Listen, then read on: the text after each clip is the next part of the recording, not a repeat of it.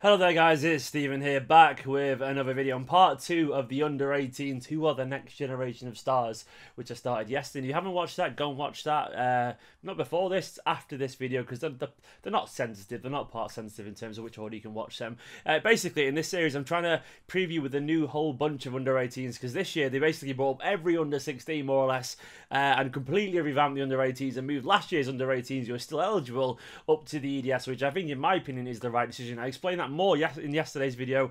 I go into detail how the new kind of tiering systems work and how they're basically trying to push younger players a lot earlier on. Hence why Taylor Richards has already jumped to the under, so already jumped to the EDS despite only being a first year uh, under 18. And don't forget as well, I am sponsored by One OneFootball, the wonderful people over at One OneFootball. Go and download that app for all the news, Manchester City updates, your previews, your stats, and everything else uh, to do with football worldwide because they are good people. The link is in the description below. But let's get on to uh, the under 18s, names, the stars of the future. And I'm going to start with Ryan Corrigan. If you don't know anything about him, he joined from Everton about two and a bit years ago. I think it was 2015. And he's a bulldozing, rampaging left fullback with a, a decent size to him. Seems like a very nice lad as well. Very polite on Twitter, which I think is always a good sign that we're signing well-rounded people. Uh, he actually offered me tickets once for a game, so thank you very much there because he thought I couldn't get him, which is very nice for him because he follows me there, so thank you, Ryan. But onto his actual game. Uh, yes, he basically he's a powerful fullback. He kind of shot to,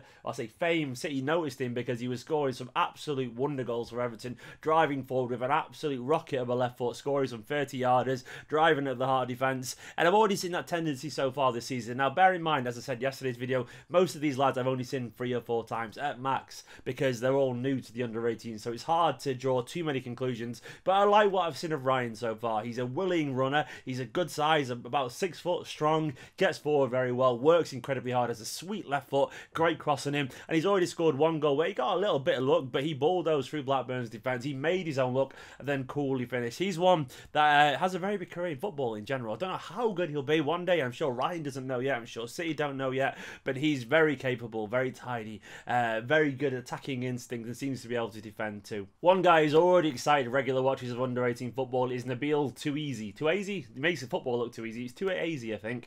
Either way, he's a Spanish striker we got from Valencia after he actually terrorised Manchester City in a friendly once. And the City scouts saw him and thought, I like him. He's incredibly good. I think he's scored some like 70 goals in two seasons for Valencia's youth team. And I've been so incredibly impressed by him so far. He's not your typical Spanish striker in terms of he's a number nine. He reminds me of somewhere between a confident Edin Dzeko and Negredo in terms of a big man, strong. Negredo, when he first joined City, how he was turning, linking, turning away from defenders using his power, bulldozing past people, and rocketing shots into the top corner or scoring headers. He reminds me of that a lot. The complete number nine. His link-up play is excellent. He has a decent turn of pace. He seems to be able to beat a man with a trick. He scores headed goals. He scored a couple of rocket shots as well. I like him a big lot. I can see why City chased him. He's one of the stars of this team so far. What I've seen, and it's only early days, is incredibly promising. He's the kind of person who seems to be an instinctive finisher, but also has the all-round game to be a threat anywhere. I like him, and fingers crossed we see plenty more of him going forward. I'm sure we'll see plenty of him in the FA Youth Cup run, and maybe he might even be involved in the uh, UEFA Youth League, though not necessarily giving the Gonzalez and the Metro ahead of him a little bit because they're older and more senior, but he's got a very big future in the game. Hopefully, it's with Manchester City. The next on the list is Felix Nmecha. Not Lukas Nmecha, the England under 19, under 20 international, uh, his goal scoring brother, but Felix is his younger brother. Uh, the picture's pretty bad. I got it from his Twitter. Basically, he looks a lot like Lukas. He looks almost like he could be a twin. He even plays a bit like him too, but he's an attacking midfielder and he's a goal scorer. He scored a hat trick at the weekend. I already saw him score a couple of goals before that as well. He's scoring all kinds of goals from the 18s from attacking midfield. He has a very similar play. He has a very strong physique around six foot one, six foot two, like Lukas. He has his ability to dribble past people, drive once again like Lukas, but obviously he's a midfielder, so a little bit less of a striker because he's a midfielder. Uh, more adept at playing in uh, forwards and picking up passes, but his instinct seems to be score goals, and that's never a bad sign for a player because he needs no house to score them as well. A hat trick at the weekend, already seen him score a couple of excellent goals, a long range in particular the other week. Really stuck out he put it in the top corner from about 30 yards out.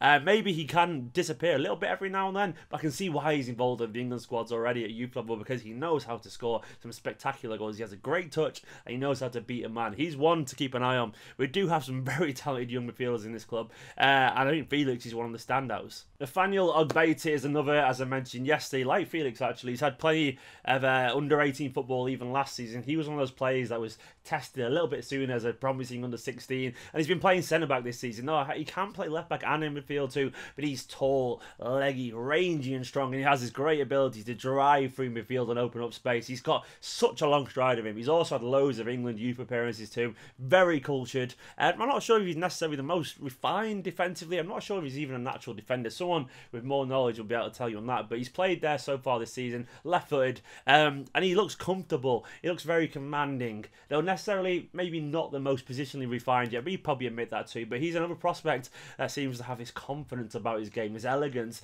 Alongside Eric Garcia, they look both like ball-playing centre backs, both with so much composure. Doesn't ever, ever, ever uh, look flustered in possession, which obviously is a prerequisite for any Manchester City defender these days. And I really like the fact that he can literally just drive through midfield because he has a very good turn of pace. He has incredibly long stride. Uh, he looks like he can just basically support the attack from deep. He's another that will stay with the under 18s this season. I suspect maybe get involved in the FA Youth Cup teams though. That would be Joe Latibeaudiere and Ed Francis. I would guess they would be ahead of him there. But he's another uh, a leader kind of player as well, which is good. I think he's captained England before at youth level it's another incredibly talented and exciting prospect, basically. I think I'll be saying that quite often during this series.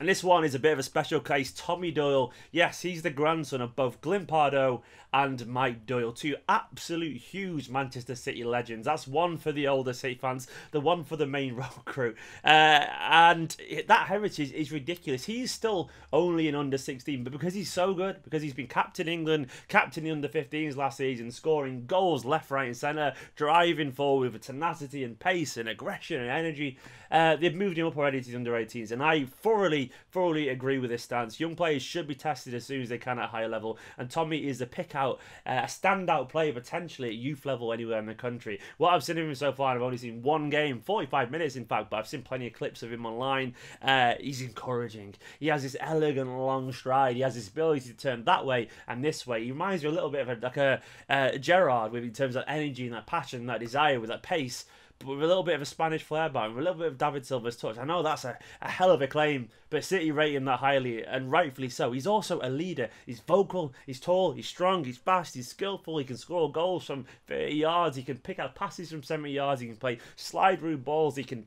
flip the ball over his head one way. Tommy Doyle is a fantastic player. Imagine a better prospect than watching Tommy Doyle roll out at Manchester City, given the heritage his name carries, given the links his family has, and he's a City fan too. And he could he also captains England and he captains the City youth teams when he plays he's a hell of a prospect. And Tommy Doyle, uh, I hope we'll see plenty more. And the fact that he's already playing with the under 18s, despite only being 15 years old at the moment, that's pretty special. But anyway, guys, that's the end of part two. There'll be part three where I talk about the likes of uh, Bobby Duncan, Kurt Anderson, and plenty more players. You'll see that pretty soon, I'm sure. Uh, if you haven't already, subscribe. Let me know what you want to see talk about in future videos. Tomorrow, there'll be a preview of the final game. I'm actually away from Wednesday to uh, Sunday, so there'll be no videos on those two games, unfortunately. I'm sorry, there'll be a bit of a gap there, but that's just the way it is. Go and download the OneFootball app, and I will see you soon. If you haven't already, go and watch my band's video as well, because it's really good.